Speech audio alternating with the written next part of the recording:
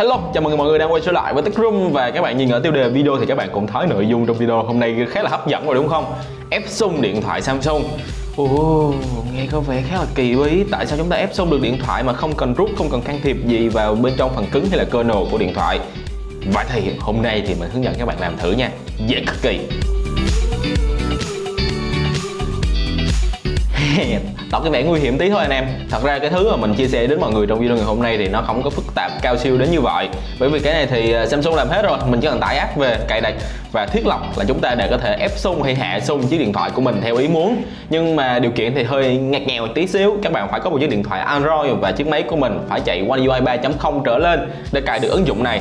Nó nằm trong bộ Galaxy Lab. Còn bạn nào chưa biết Galaxy Lab là gì thì mình đã chia sẻ khá là kỹ ở một video cách đây không lâu, khoảng một tháng trước.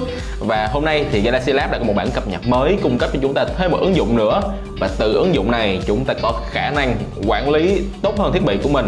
Đặc biệt là có thể ép xung hay hạ xung theo một nghĩa nào đó trên chiếc điện thoại Samsung của chúng ta. Bởi vì smartphone Samsung, đặc biệt là máy cao cấp được trang bị chip Exynos, thì đôi khi gặp một số vấn đề nhỏ nhỏ về nhiệt độ hay là hiệu năng của sản phẩm với công cụ này chúng ta sẽ quản lý tốt hơn việc này và có quyền sinh xác liên quan tới hiệu năng của chiếc máy. Nghe có vẻ rất là xịn sò đúng không? À, đó chính là ứng dụng Turbo Guardian đây những thứ chúng ta cần làm là chúng ta cài bộ Galaxy Lab trong đó sẽ có Thermal Guardian. Thì các bạn sẽ truy cập ứng dụng này cấp quyền đầy đủ. Nhưng vào giao diện thì chúng ta sẽ thấy một cái giao diện tương đối trực quan và rất là Samsung. Ở đây chúng ta sẽ thấy hai phần quan trọng là ngưỡng nhiệt và CPU khoảng nhiệt độ bao nhiêu thì Samsung không có ghi rõ nhưng mà chúng ta nhìn vào cái biểu đồ như thế này cũng phần nào hiểu được là cái biểu đồ này thể hiện những điều gì. Theo trục chiều dọc ở đây là mức độ nhiệt độ từ màu xanh lên tới màu đỏ được thể hiện bằng icon trông khá là dễ thương. À, còn trục còn lại là khoảng thời gian, thì chúng ta sẽ thấy biến động nhiệt độ khi mà sử dụng chiếc điện thoại của chúng ta. Nếu chúng ta chơi game này, stress test hay là dùng ảnh tu tu á, thì nó sẽ tăng nhiệt độ lên đáng kể. Nhưng mà chúng ta dùng nhẹ nhàng để máy nghỉ ngơi thì xuống rất là thấp. Đó nhìn vào chúng ta sẽ quản lý được khoảng thời gian sử dụng của chiếc điện thoại này. Hay là nếu các bạn cho con cái sử dụng á, mà chỉ cho nó sử dụng để xem video thôi, mà bỗng nhiên kiểm tra được ở khoảng này nhiệt độ lên cao, chắc chắn mà nó dùng để chơi game, không thể nào xem video đoạn này được. Nhìn vào là biết ngay cái công cụ này nó đa dụng hơn các bạn nghĩ đó. Ngay bên cạnh là cái khoảng CPU ở đây chúng ta sẽ quản lý được nhiệt độ và xung nhịp của CPU trong quá trình sử dụng. Đồng thời thì cái bảng nhiệt độ ở cái trục chiều dọc này nó vẫn như vậy. Ha, nhưng mà cái này dùng để quản lý thôi.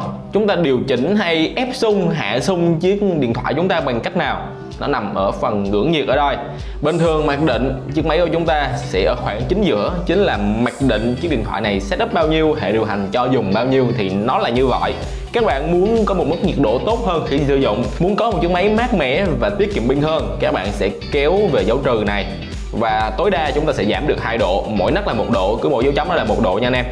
Tối đa chúng ta sẽ giảm được 2 độ C, tối đa khi mà sử dụng ở cái mức thấp nhất này chủ chiếc máy sẽ tiết kiệm pin hơn, nhưng mà xung nhịp hay là hiệu năng của con chip trên bên trong sản phẩm sẽ bị giảm sút để tối ưu lại quá trình sử dụng. Không phải là ép xung hoàn toàn mà khi đạt tới mức nhiệt độ này, không chắc là bao nhiêu Samsung không ghi rõ ở đây nhưng mà chỉ cần đạt lên mức nhiệt độ này thì chiếc máy sẽ bị bóp xung lại, không cho sử dụng tối đa hiệu năng nữa để đảm bảo cái nhiệt lượng tốt nhất trên thiết bị cũng như đảm bảo về thời lượng pin.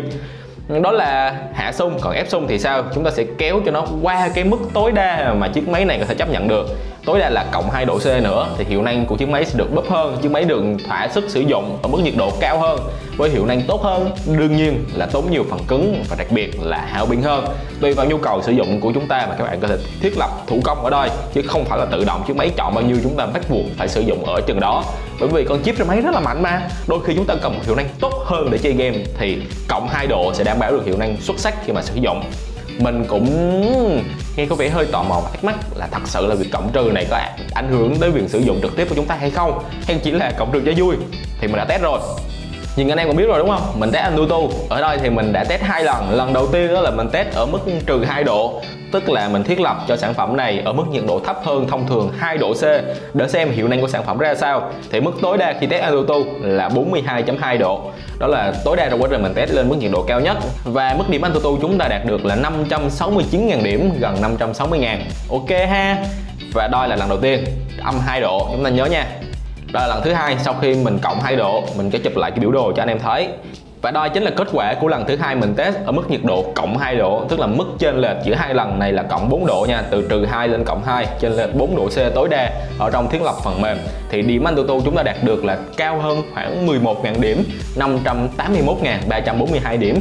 Là con số lúc nãy 569 581 cao hơn tới khoảng 11, 12.000 điểm. Là mức chênh lệch khá lớn khi test AnTuTu đó anh em vì hai lần test này là diễn ra cách nhau khoảng chỉ khoảng 10 phút thôi. Mình chờ cho chiếc máy này nguội đi một chút rồi bắt đầu test luôn. Thì giữa hai lần này chắc chắn sẽ không có khoảng cách quá nhiều về phần cứng hay là đặc điểm sử dụng cùng một môi trường. Chỉ là cộng 2 độ và trừ 2 độ thôi thì mức hiệu năng chúng ta đã thấy rất là trên lệch rồi cộng tới 11 12 ngàn điểm như thế này thì hiệu năng chúng ta sẽ có nhiều khác biệt. Trong đó thì mình thấy điểm CPU và GPU là trên lệch nhiều nhất giữa hai lần test trên chiếc máy này. Ngoài ra thì nhiệt độ ở lần test thứ hai đúng là có cao hơn lần trước thật, có vẻ như là hệ điều hành đã mở sung và cho chiếc máy này hoạt động ở mức nhiệt độ cao hơn. Tối đa là 42.3 độ cao nhất này còn lần trước là 42.2 cách nhau 1 độ C. Không phải là cách nhau 4 độ như là trong thiết lập phần mềm, nhưng mà có thể là phần mềm bên thứ ba đã sẽ hoạt động theo kiểu khác. Chúng ta cũng không hiểu rõ là cách hoạt động chính xác của việc ép sung hay là hạ sung này ra sao. Nhưng mà rõ ràng là có chênh lệch nhiệt độ và chênh lệch hiệu năng giữa hai lần test cách nhau không lâu. Nên là cái ứng dụng Thermal Guardian này thật sự có hiệu quả trong việc tinh chỉnh về hiệu năng và nhiệt độ trong quá trình sử dụng trên chiếc điện thoại Samsung của chúng ta. Không phải là tăng giảm cho vui, mà thật sự là có ảnh hưởng thật. Chúng ta có thể sử dụng ứng dụng này để quản lý tốt hơn thiết bị của mình link tải cả cái bộ Galaxy Lab và Thermal Guardian thì mình để bên dưới phần mô tả của video. Cảm ơn mọi người đã quan tâm theo dõi. Xin chào và hẹn gặp lại trong những video lần sau trên Tech Room. Chúc bạn ép xung thành công chiếc điện thoại của mình.